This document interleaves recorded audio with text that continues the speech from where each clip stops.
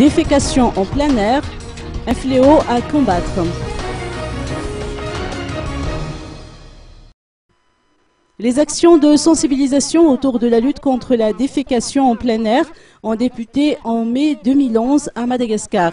Les propos ainsi que les supports publicitaires qui ont été utilisés ne laissent place à aucune ambiguïté afin de conscientiser tout un chacun sur ce phénomène ont indiqué les responsables du programme. À travers les séances d'animation, les populations devraient se montrer aussi intransigeantes et inciter les autres à respecter l'environnement.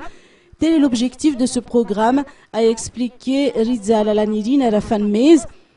Le programme entre actuellement dans sa quatrième année d'existence. Durant ces trois ans donc, les animateurs sont intervenus dans 3000 villes et 14 régions de Madagascar. Globalement, l'on a constaté que les habitants ont délaissé leurs mauvaises habitudes, a-t-on fait savoir.